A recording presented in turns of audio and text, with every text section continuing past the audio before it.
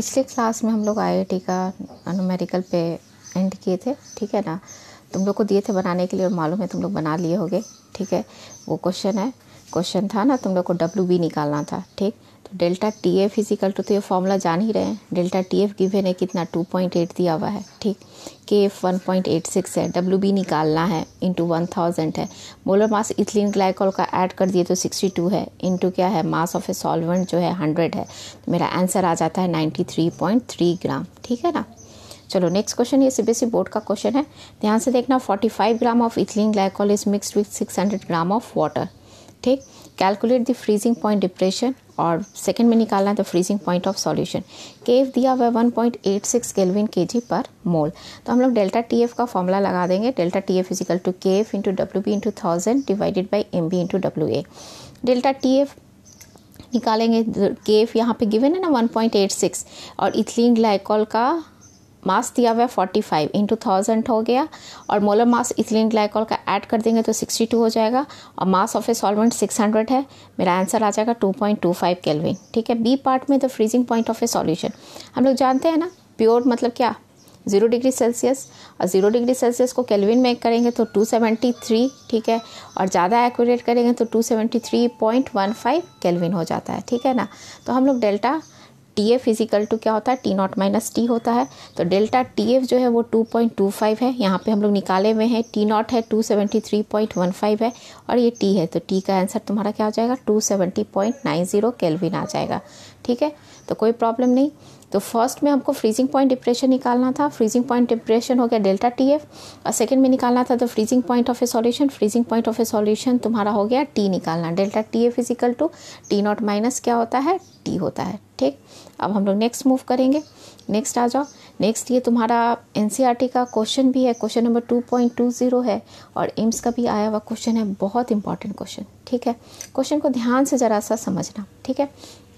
Question है five percent solution by mass of a cane sugar in water has a freezing point of two seven one kelvin and freezing point of pure water is two seventy three point one five kelvin pure का दिया हुआ है the freezing point of five percent solution by mass of glucose in water is ये option है दिया हुआ ठीक है तो सबसे पहले हम लोग डेल्टा टी एफ़ निकाल लेंगे क्या निकाल लेंगे डेल्टा टी एफ़ ठीक है तो यहाँ पे टी नॉट दिया हुआ है प्योर का two seventy three point one five T कितना दिया हुआ? टू सेवेंटी वन केल्विन तो कितना आ जाएगा? Answer two point one five kelvin आ जाएगा। ठीक है? अब sucrose cane sugar cane sugar का तो फॉर्मूला सुक्रोज का हम लोग जानते हैं ना? सुक्रोज का C twelve S twenty two O eleven ठीक है ना? तो सुक्रोज का जब हम लोग मोलर मास जोड़ देंगे तो सुक्रोज का मोलर मास जान रहे हैं कितना आ जाएगा? थ्री फोर्टी टू आ जाएगा। फाइव परसेंट दिया हुआ है। पहले से ही बता रहे फाइव परसेंट मतलब कितना ग्राम? Five gram. ठीक है ना? और मास ऑफ़ ए सॉल्वेंट कितना होगा? नाइन्टी फाइव तो यहाँ delta T F delta T F दिया हुआ टू पॉइंट वन फाइव ठीक है ना? के एफ़ निकाल लेंगे। फाइव हो गया डब्ल्यू बी वन थाउज़ेंड ठीक है? Divided by molar mass three forty two into कितना हो जाएगा? Ninety five mass of a solvent तो के एफ़ आ जाएगा। के एफ़ कितना आ जाएगा? Thirteen point nine seven kelvin K G per मोल आ जाएगा। ठीक है? तो यहाँ से हम लोग के एफ़ निकाल लिए। अब देखो इसमें फिर क्या दिया हुआ है? ग्लूकोज, ठीक है ना? तो for the solution of glucose तो यहाँ डेल्टा टी एफ़ ठीक है ना? तो डेल्टा टी एफ़ निकाल लेंगे। क्यों? क्योंकि के एफ़ निकाल लिए हैं और डब्ल्यू बी तुम्हारा फिर वही फाइव परसेंट है। तो फाइव परसेंट मतलब कितना ग्राम हो गया? Five gram into thousand molar mass हम ग्लूकोज का जोड़ देंगे। मोलर मास ग्लूकोज का जोड़ेंगे ना? C six H twelve O six इसका मोलर मास जोड़ देंगे तो कितना आ जाएगा? वन एटी आ जाएगा, ठीक है ना? One eighty into W A कर देंगे, ठीक? तो यहाँ से मेरा क्या निकल जाएगा? डेल्टा टी एफ़ निकल जाएगा ठीक अब ध्यान से देखना, ये five percent solution by mass of cane sugar in water इसका फ्रीजिंग पॉइंट दिया हुआ है, ठीक है ना? और इसी में बोल रहे थे freezing point of five percent solution by mass of glucose in water तो हम लोग फ़र्स्ट पार्ट से के निकाल लिए और यहाँ से मेरा क्या निकल रहा है? डेल्टा टी एफ़ निकल रहा है, ठीक है? फिर आगे देखो, हम लोग डेल्टा टी एफ़ निकाल लिए, डेल्टा टी एफ़ कितना आ गया? Four point zero eight five kelvin आ गया। फिर हम लोग फॉर्मूला जानते हैं ना, delta T F is equal to T nought minus T जानते हैं।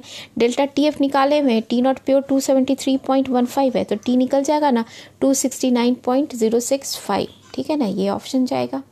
ठीक? अब चलो नेक्स्ट क्वेश्चन में मूव करते हैं। नेक्स्ट क्वेश्चन है solution of urea in water has a boiling point दिया हुआ है। Calculate the freezing point of same solution K F दिया और के बी दिया हुआ है, ठीक है?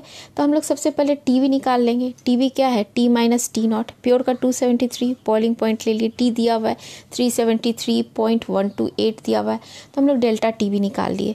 और हम लोग जानते हैं ना delta T V is equal to क्या होता है? के बी इंटू मोलैलिटी ठीक है? तो के बी यहाँ दिया है ना? K B zero point five two ठीक है?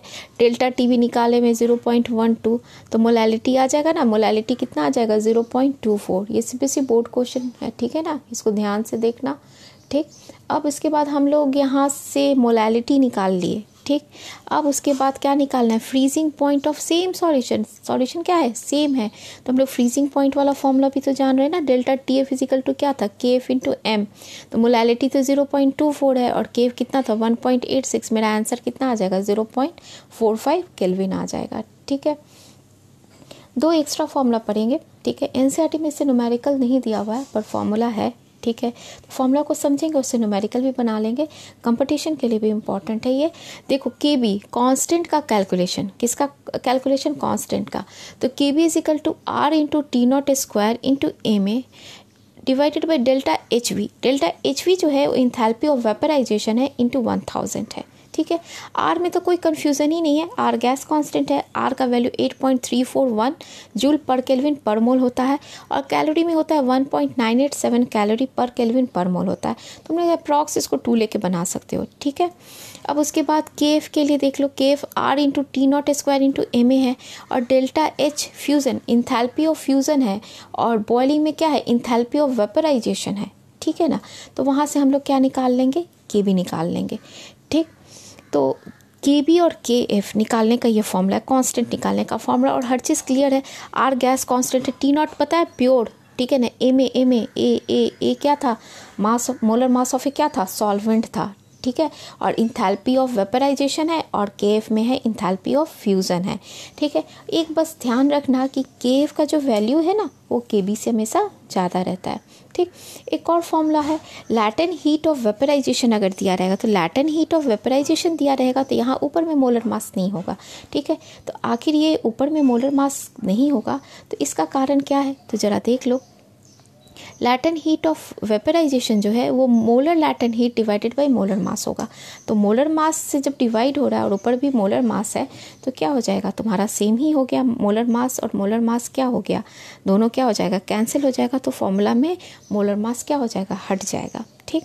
अब क्वेश्चन जरा देखना। Calculate the molar depression constant of a solution which has a freezing point 16.6 degree Celsius and latent heat of fusion है 180.75 जूल पर ग्राम ठीक है?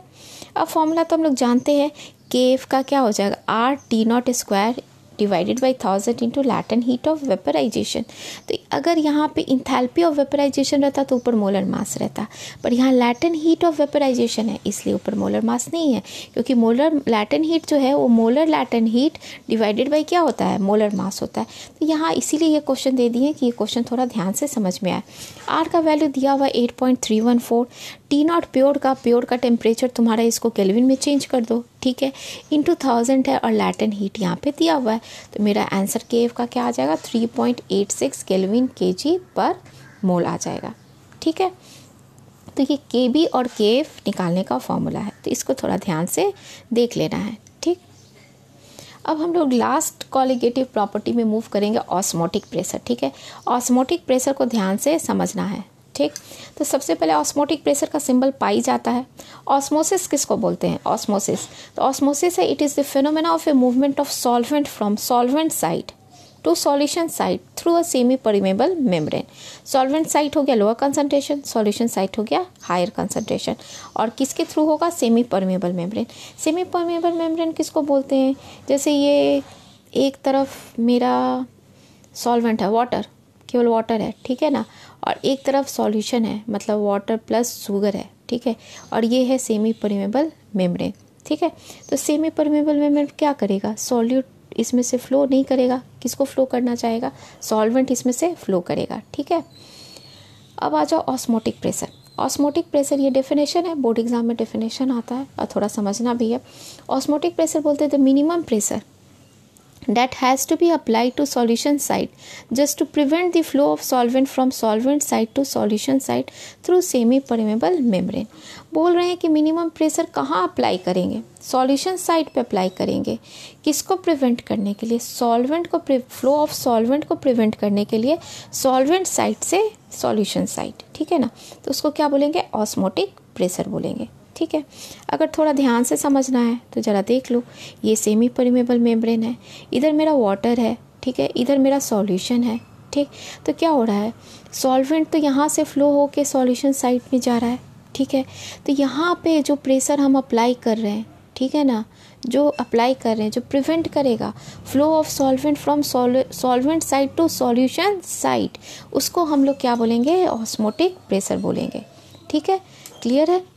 अब चलें। नेक्स्ट हम लोग को पढ़ना है रिवर्स ऑस्मोसिस ठीक है? रिवर्स ऑस्मोसिस ठीक है? तो रिवर्स ऑस्मोसिस बहुत इंपॉर्टेंट है, इसको ध्यान से समझना है। रिवर्स ऑस्मोसिस किसको कहते हैं? तो थोड़ा ज़रा सा इसको देखना, ठीक है ना? यहाँ सी वाटर है और इधर प्योर वाटर है और ये सेमी परिमेबल मेम्ब्रेन बनाए हुए हैं, ठीक है? तो यहाँ अगर प्रेशर जो अप्लाई कर रहे हैं ऑस्मोटिक प्रेशर से ये ज़्यादा है तो क्या होगा? सॉल्वेंट जो है starts flowing from solution side to solvent side through a semi permeable membrane तो प्रेशर अगर ऑस्मोटिक प्रेशर से ज़्यादा होगा तो सी वाटर क्या है? सॉल्यूशन इसमें से क्या फ्लो करने लगेगा? सॉल्वेंट सॉल्वेंट किधर जाएगा? सॉल्वेंट साइड में जाएगा। ठीक है? तो ध्यान से ज़रा इसका डेफिनेशन देखना। डेफिनेशन क्या लिखा है?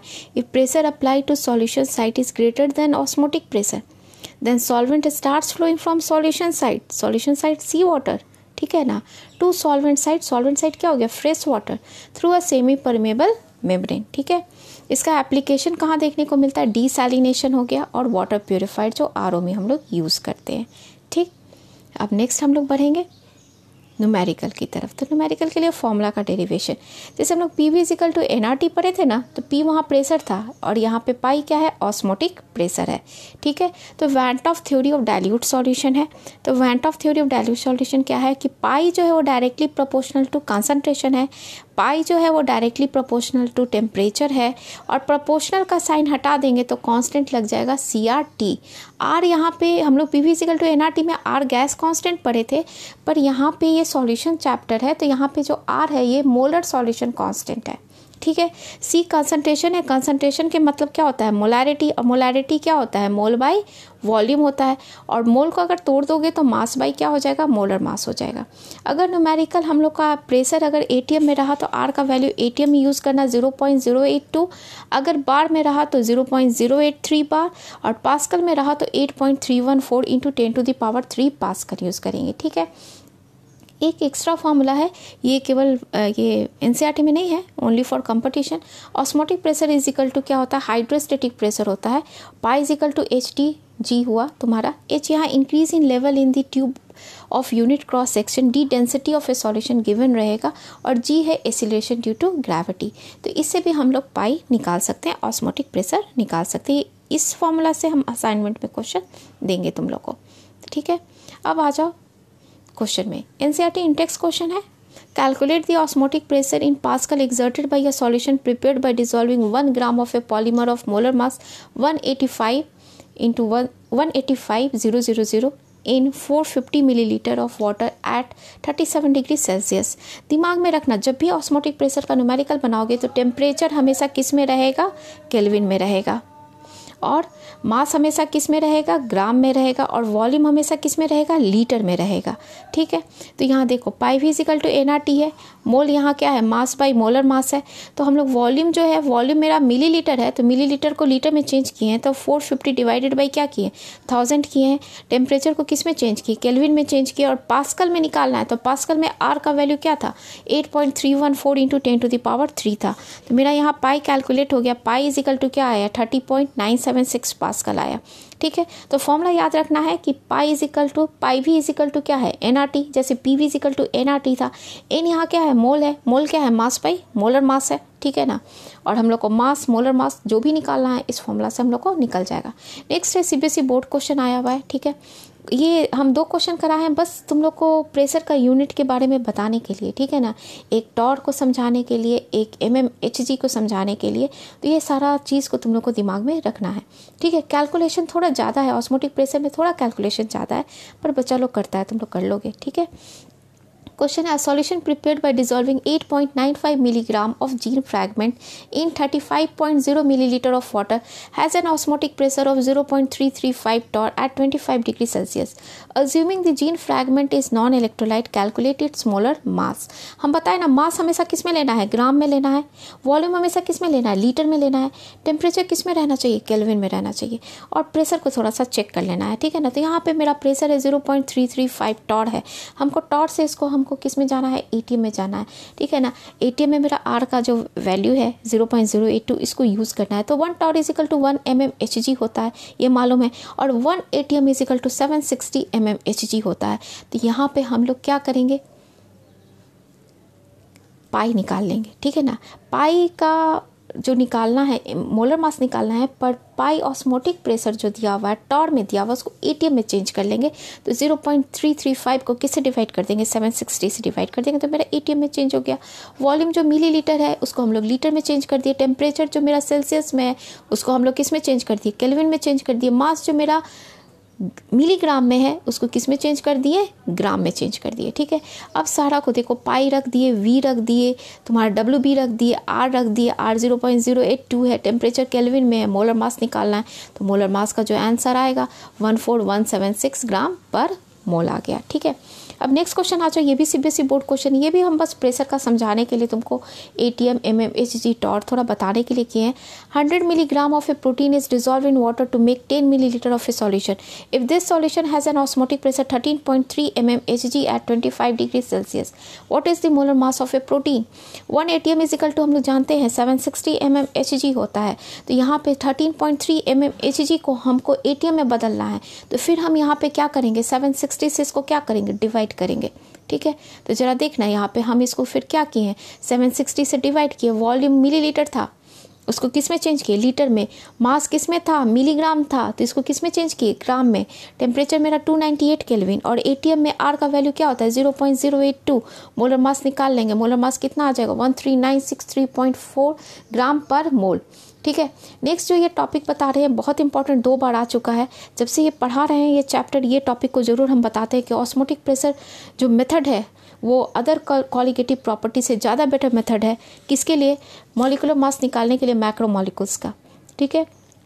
ये लगता है क्वेश्चन 2017 में आया है और एक बार 2010 या 11 में भी ये आया है क्वेश्चन, ठीक है? तो osmotic pressure method is preferred over other colligative properties to determine the molecular mass of a macro molecules ठीक है ना? तो मैक्रो मॉलिकुल्स का मॉलिकुलर मास निकालने के लिए ऑस्मोटिक प्रेशर मेथड क्यों सबसे इंपॉर्टेंट है? सबसे बेस्ट मेथड क्यों है? तो देखो ऑस्मोटिक प्रेशर जो है मेज़रमेंट है वो रूम टेम्परेचर पर भी मेज़र हो जाता है, पहला बात। सेकेंड है the other two value other two value elevation in boiling point और डिप्रेशन इन फ्रीजिंग पॉइंट बहुत छोटा होता है जिसको हम लोग एक्यूरेट मेजर नहीं कर सकते हैं। क्योंकि macro molecule macro molecule carbohydrate हो गया, ठीक है ना? प्रोटीन हो गया, इसका मॉलिकुलर मास क्या होगा? बहुत ज़्यादा। तो एलिवेशन इन बॉइलिंग पॉइंट और डिप्रेशन इन फ्रीजिंग पॉइंट क्या होगा? बहुत कम होगा, जिसको हम लोग एक्यूरेट मेज़र नहीं कर सकते। तो इसीलिए ऑस्मोटिक प्रेशर मेज़रमेंट ठीक है ना? अदर कॉलिगेटिव प्रॉपर्टी से सबसे बेस्ट मेथड है मेज़र करने के लिए मैक्रो मॉलिकुल्स का मॉलिकुलर मास ठीक नेक्स्ट हम लोग क्लास में है ना ऑस्मोटिक से ऑस्मोटिक प्रेशर से कुछ और नोमेरिकल बनाएँगे और लास्ट टॉपिक जो है वांट ऑफ़ फैक्टर उसको डील करेंगे। तब चैप्टर जाके हम लोग का क्या होगा? ख़त्म होगा।